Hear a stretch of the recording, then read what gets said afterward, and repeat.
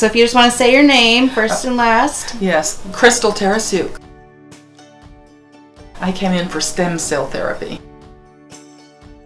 Oh, before I came in, I was in so much pain with both my left hip and my left knee.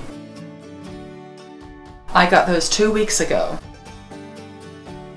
Oh my goodness. Well, it didn't take very long, but the immediate relief that I had was in the area of pain. I had had such bad pain, especially in my hip, very achy to the point to where I couldn't sleep at night. Mm. After I got the stem cell treatment, I have been almost pain free, and the little bit of pain I have is so minimal I can live with that.